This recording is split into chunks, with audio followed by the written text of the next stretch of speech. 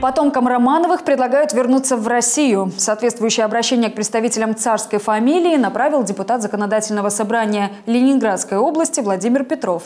Сообщается, что обращение отправлено княгине Марии Владимировне в Испанию и князю Дмитрию Романовичу в Данию. В настоящее время происходит трудный процесс восстановления величия России и возвращения ею мирового влияния. Я уверен, что в такой важный исторический момент члены императорского дома Романовых не могут оставаться в стороне от процесса процессов, происходящих в России, говорится в письме депутата.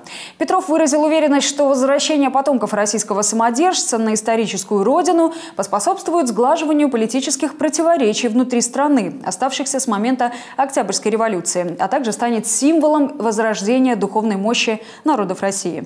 Он также добавил, что потомки царской семьи смогли бы стать символом сохранения традиций и национальной культуры. В ближайшее время планируется разработать законопроект об особом положении приглашение представителей царской фамилии. В частности, в качестве официальной резиденции в России депутат предлагает выделить Романовым один из дворцов в Крыму или пригородах Санкт-Петербурга.